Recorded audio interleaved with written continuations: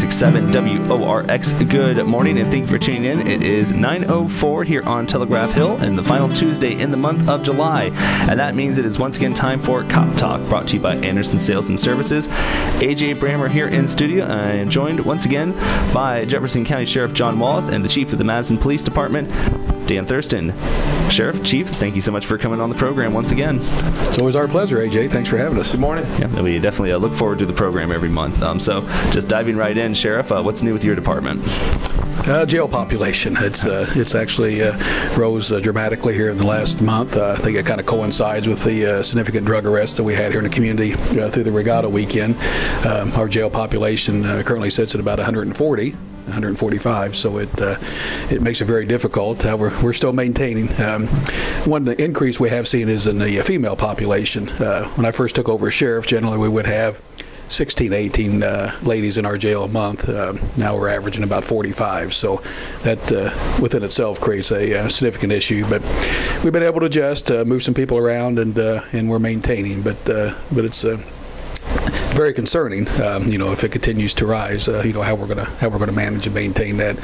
We like to try to keep all of our local inmates in house um, uh, for cost reasons, and uh, but it gets to the breaking point where we you know we may have to look elsewhere. So we'll see how that goes. Um, like I said, on the positive side, I mean there there was significant drug arrest, and uh, um, you know we got to continue to do that. You know we got to keep our foot on the gas when it comes to narcotics in this community. But uh, on the flip side, dealing with the uh, with the number of inmates, so we'll continue to work at it and uh, and maintain, and uh, we'll see where it goes from here. But uh, it's uh, I'm just very appreciative of the effort that uh, that the jail staff puts in on a daily basis to to maintain that, and, and very appreciative of law enforcement in this community as we continue to hammer away on the uh, on the narcotics issue.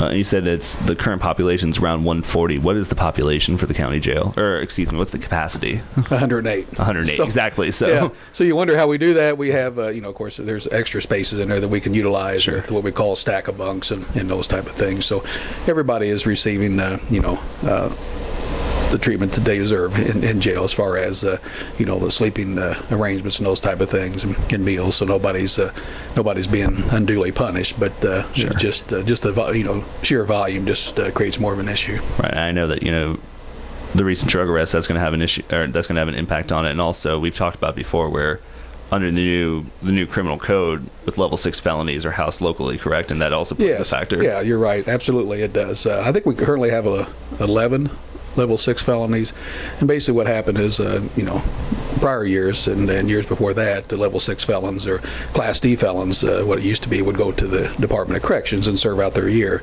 And now, if you're serving 365 or less, 365 days or less, and you serve them in your in your local county jail. So I think we have 11 now, uh, which has created an issue, from my understanding, through throughout all the counties. Uh, you know, some have more than us, but uh, but we are reimbursed. We are able to charge the state uh, for Right. housing those inmates in our facilities. So uh, you know, there is some money's coming back to us, but uh, like I said, just the sheer volume creates an issue. And and going back to what you said about you know part of why the volume has gone up a little bit, the recent the recent drug arrest, you know, that's a you're constant. Well, I know I, I see the press releases, so I'm constantly seeing you know the efforts that are being made, and you've said before on the program that it's a pro it's a problem you can't arrest your way out of, but this obviously you know getting these guys off the street is a big step. Right, it is a problem we can't arrest our way out of. That's why we have other programs, which we'll talk about here in a minute, that uh, that certainly help us out tremendously. But uh, but we got to continue, like I said, to keep the foot on the gas because um, you know as we've seen in other counties, if we uh, if we let up or or back off, uh, these issues can certainly take over a community in a hurry, and uh, and we're not about to let that happen here in Jefferson County. So that's Jefferson County Sheriff John Wallace, and uh, switching over to uh, Madison Police Chief Dan Thurston. I know, Chief. Uh, you know, unfortunately, this past month we lost a member of the Madison Police family. We did. Uh, very sad circumstances. Uh, uh, one of our canines, Eros, uh, we lost him to a, a medical situation commonly known as uh, twisted stomach syndrome. Uh, his handler, Captain Munt, was out of town on vacation when this occurred. He was being boarded at one of our local veterinarians, and uh, which they take great care of him. But uh, it's just one of those freak things, medical wise. And uh, we did take him to uh, Purdue to, to have an examination done to, to determine cause of death, if for no other reason for closure for the family. Um, you know, we often we view him as, a, as an officer of our department, and he is a you know a dog and a canine. But at the end of the day, he's also that family's pet, and uh, you know we Officer Munt's children uh, love him as, as much as it would if it was just a, a, a normal dog or a normal pet. So we wanted some closure for the family. We've had that done. Uh, uh, we were are planning a proper memorial service for Eros, and, and once we have his remains back, we will we'll have that memorial service for him. Uh, Eros was a um, he was a hardworking dog for the department. He was. He was uh, very dedicated and very focused when, when he was working, and he did a great job for us. Um, he'll be missed. Uh, I'm sure at some point we'll explore some options for a replacement, but uh, really until we have that memorial service, I, I think that would be uh, um, not the right thing to do with regards to uh, Eros. I think he deserves a proper memorial before we ever move on and look at other options, but I'm sure that will be a plan moving forward. Certainly, you know, you like you said, you you have to take that you have to take that step eventually, but for the time being, it is you know like you said, he was a pet, but he was a member of the department. Absolutely, very dedicated, focused officer. Excellent. So, um, are there any other, besides, unfortunately, besides that, leading off, leading off a down note, obviously, but what else is new in the police department? Uh, we have a new hiree, Philip Wimpy. He is currently at the academy. we have tried something different. Uh, we're sending actually uh, the Indiana Law Enforcement Academy now offers an academy at various satellite locations around the state, and one of those locations is Evansville. So we're sending him to what they're calling the Southwestern Indiana Law Enforcement Academy in Evansville. Uh, this is week two for him of uh, 17, so we'll get him back in November. But um, uh, we're excited to have him. We, we think he'll be an excellent officer. Uh, he scored very high through our interview process, and we're excited to have him on board and get him through his training and get him back to work. That's excellent. And um, I know uh, this is the first time uh, we've talked to you on the program since the Madison Regatta. Right. And I know these were numbers that came out earlier in the month, but touching on that again, it was a relatively things were relatively quiet this year, right? yeah, I you know I hate to jinx us going into 2017, right? but uh, yeah, I, I think uh, the numbers came out. We ended up with about 10 arrests for the weekend, wow. and uh, we have uh, some weekends where there's no festivals where we end up with 10 arrests. So right. um, yeah, it was 10, and I think the state police had one, and I don't know if the excise had any or not, but uh, um, you know, and I always equate it back to, and uh, Sheriff Wallace can probably tell stories longer than when I was here, but my first first uh, uh, regatta as a police officer was 1993, and between the time the parade started on Friday and the end of the final heat on Sunday, we arrested about 180 to 185. Wow! And now we're at 10. So uh, we'll take that, you know, and and uh, I like to contribute some of that maybe to aggressive law enforcement over the years. Also, uh, um, public service, people having the the uh, word out on um, the dangers of, of drunk driving and, and those types of things. So hopefully, you know, people are smarter. Uh, I know Regatta's worked hard to make it more of a family event, and uh, I'm sure that's part of it too. So um, we'll take it for whatever the reason is. We'll take it, and uh, hopefully that trend continues in the future. And Sheriff, I know that you you guys assist in the coverage of regatta, so yeah, quiet quiet for you guys as well. yeah, very quiet. Uh, you know, generally the uh, county jail uh, uh unfortunately reaps the benefits of the arrest made on Vaughn Drive, but um, this year uh, it it went very well. Very few issues. as the chief said, I think there's only ten dozen arrests made and a very manageable situation. So you know, we're thankful that that that went off very well. Certainly certainly don't miss the uh, high volume arrests. That's for sure. You can catch us online anytime at WORXradio.com or on your smartphone or tablet. Go to the TuneIn Radio app in the App Store. Once you download the TuneIn Radio app, type in WORX in the search engine. It'll bring us up, and you can listen all the time, 24 hours a day, 7 days a week. Again, online, it's WORXradio.com. AJ Brammer here in studio up on Telegraph Hill. Big thanks to Jefferson County Sheriff John Wallace and Madison Police Chief Dan Thurston for joining me once again for the program. But for this month's edition of Cop Talk, we also have Amber Finnigan from Jefferson County Community Corrections coming on the program. Um, Amber, thank you so much for coming on. Thank you for having me. And so, um, just for the folks out there that don't know a whole lot about what you guys do, what, what goes on in community corrections. Um, we are an arm of the court, so basically we provide um, services to people who have either um, been sentenced or pretrial services for people who haven't been sentenced yet.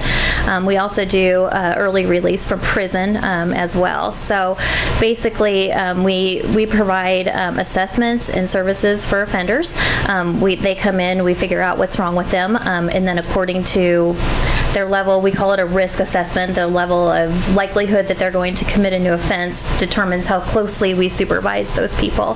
So people that we don't, that through an assessment don't really believe that they're going to be committing a new offense, we don't really do a whole lot with, but those people who have usually are repeat offenders and that kind of thing, um, we work with them more intensely. Um, so supervision wise, some of those people go on electronic monitoring and they have the big GPS bracelets on and we can monitor their every move, um, or it could just be regular reporting um, a number of times a week or whatever. Um, so we provide assessments, um, figure out what's wrong with them, just like if you were to go to the doctor, you would get an assessment to figure out what um, services you needed and whatever kind of programming and stuff you need. And then we refer out to different programmings. We use LifeSpring and Centerstone within our agency for mental health and substance abuse treatment services. We use Real Works for employment agencies and other employment services around there. And then we also deliver a lot of cognitive programming with our offenders. Um, we do that separately between males and females um, and just trying to change their way of thinking, trying to change their reasoning skills, trying to change their um, thought processes to help them make better decisions in the future. And yeah, an arrest isn't just an open and shut situation. You know, every Right. every time you arrest somebody, there's going to be different circumstances, and so this, your department kind of handles all that. Right, right. So yeah, we are kind of the experts to figure out, okay, so what is the reason why this person committed this crime and what can we do to help them not do that again in the future? That's excellent. And I know that you guys' program has you, you've been expanding you know, as time's gone on. I know you just recently, or somewhat recently, moved into a new facility, correct?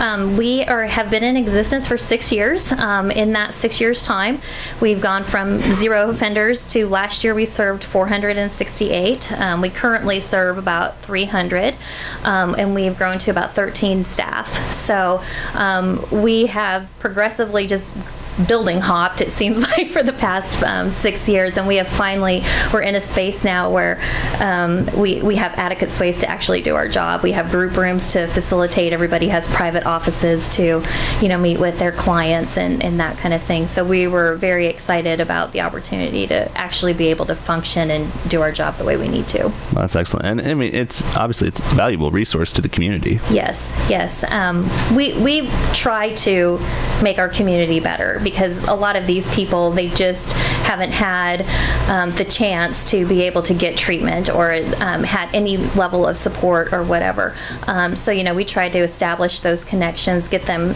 into the community, and get them into programming that they need so they can um, be well if they choose to be so. And I'm sure the uh, the sheriff and the chief can talk talk about it a little bit, just about um, you know, it's a it's a, des- a necessary part of what you guys do. Yeah, absolutely. Can you imagine what our jail population would be like if we if we didn't have Amber in her in her community corrections program? It would be it'd be unmanageable. And she just does an outstanding job. She and her uh, crew uh, work tirelessly down there uh, to make this program work the, the best it possibly can, and um, and we're very appreciative of, of all her efforts. She's uh, taken this uh, uh, ball initially, starting up the program, and ran with it, and, and just done a phenomenal job.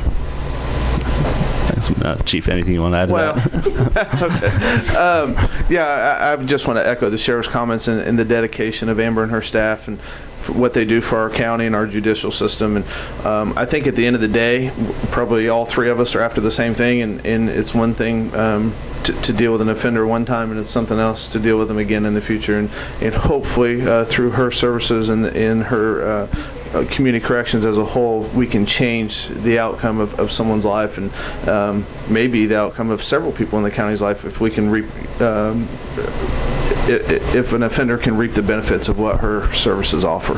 That's excellent. Uh, anything else, uh, Amber, you want to add about the program? I think so. We just we stay really really busy, and um, thank you for having us. And a lot of people don't know what community corrections is because we're so new in our community. But um, just to let people know that we are out there, we're trying to get people into services and make our community better. Right, and I think that's you know you guys do a good job of clarifying you know kind of misconceptions I guess about criminals you know when they come on and, or when they when they come off the street when they get arrested you know knowing that they are going into a program like this and they are getting help I think that's just it's a valuable resource. Mm-hmm. It absolutely is. That's Amber Finnigan from the, the uh, Jefferson County Community Corrections uh, joining us on Cop Talk, along with Jefferson County Sheriff John Wallace and Madison Police Chief Dan Thurston. Big thanks to Amber for coming on the program, talk about that program, what the and what Community Corrections does for the community. We talked as we just got done talking to Amber Finnigan from uh, the county's Community Corrections program that people you know know that you guys are out there but we don't always know what it is you guys are doing what goes in the job so i think it's nice to be able to talk to you guys about what you guys do Sure. and so uh, uh, Definitely a lot of moving parts within the uh, criminal justice system here in the community, and, and Amber is a very important part of that. So it is a good opportunity for us to explain that to the public. yeah, without a doubt and uh, sheriff is there anything else? i know um, you had wanted to touch on uh, obviously we've seen it unfortunately in the headlines in the last several weeks um, Yeah, in light of unfortunate the, news, yeah. In light of the uh, recent shootings, uh, you know, throughout the country, especially in uh, in Texas and Louisiana, of law enforcement officers uh, senselessly gunned down just for being police officers. Uh, you know, it's uh, it's very troubling and, and very alarming to uh, I know the chief as well. But having said that, I just want to let the community know here in Jefferson County how appreciative we are of them, uh, how they've stepped up and, and let us know, let each individual law enforcement officer know how much they do appreciate us. You know, they obviously express that by a handshake and a smile or sending baked goods to the, uh, now not that I'm trying to encourage sending baked goods down there, but You can encourage it. yeah, I can encourage it. Yeah, but but we do appreciate that, and it, it does. I just want to let everybody know it does mean a lot to us when when people go out of their way to thank us for the job we do, especially. Like I said, in light of what's uh, what's going on throughout our country, so uh, so we appreciate you very much as well. Sure, and uh, in fact, I had uh, lunch at Bob Evans yesterday and had my bill paid for. So if, if whoever did that's listening right now, and I don't know who it was, uh, thank you. But uh, it, it's just another example of, of what Sheriff Wallace is talking about as far as uh, um, we live in a great community, and it, and it makes us proud to be law enforcement officers in this community because of, um, fortunately, we know that it could change at any moment, but uh, fortunately, up until this point, we've felt nothing but support from our local citizens, both in uh, Madison and Jefferson County. You guys uh, all put your guys' lives on the line to take care of other people. So I think it's good to, good that you guys see that appreciation. I know uh, last week, uh, last Thursday, you saw a pretty cool event um, at the at the uh, at your office, correct? We did. Uh, each year we host a uh, organization called COPS. It's a cycling group that that remembers fallen officers. So each year they they swing through the sheriff's department. We do have a little memorial service for Deputy Sutton, who who died in the line of duty. Now we also remember all law enforcement officers who have uh, who have tragically passed away from one reason or another in law enforcement. Uh, this program remembers them and also raises money for their for their families uh, in support of them. So it's a it's an outstanding program. I think it's probably been going on maybe 10 years now, and uh, we're appreciative of those folks to uh, continue to do this and and let us never forget the sacrifice these guys and ladies have made in the line of duty. And it's definitely a definitely a very cool program. We like to see those sort of things. Absolutely. Um, all right. Uh, so as we come to the end of our program, Sheriff Wallace, anything else you'd like to add before we go? Oh, like I said, I'd just like to again thank uh, thank the citizens for their support. Uh, you know, um, we are one team. I always say we're you and you're us. You know, so um, you know we appreciate uh, all the support and uh, and we're just very grateful to live in a community that uh, that does back us and support us. Chief Thurston. Only final thing I'd like to say is uh, be wary of the heat. Um, you know, as, as hot as it's been, uh, take those precautions. Stay hydrated, stay inside, stay cool where you can. Uh, and if you need uh, assistance with that, I know like the library's open and it's air conditioned, or City Hall, or wherever you need to stop in and get cooled off. Uh, definitely take those extra precautions. Yeah, we definitely want to see everybody stay safe, safe out there. Uh, see, uh, temperatures in the 80s today, so we're a little cooler than we were last week, but still, uh, still got to be on the lookout for it. Yeah, we got the thunderstorms coming in, so hopefully that'll uh, cool things down, and uh, and uh, we'll get ready for uh, maybe some fall type weather. We hope. Huh? Uh, coming soon, hopefully. we'll see. That's right. Uh, Chief, Sheriff, thank you so much for coming on. All right, AJ. Thank, Thank you. That is Chief Dan Thurston from the Madison Police Department and Jefferson County Sheriff John Wallace. Join us once again for Cop Talk, brought to you by Anderson Sales and Services. Big thanks to the Chief and the Sheriff for coming on, and big thanks to Amber Finnigan from Jefferson County Community Corrections for coming on the program as well to talk about that program and all they do for the community. That will do it for this month's edition of Cop Talk. We do Cop Talk the last Tuesday of each month, so we will see you once again in the month of August. Big thanks to Anderson Sales and Services for sponsoring the program, and big thanks to you, the listener, for tuning in. We're going to throw it back to the music now on WORX 96.7 WORX. I'm AJ Brammer. Thanks for tuning in. And thank you for watching and listening to WORX Radio.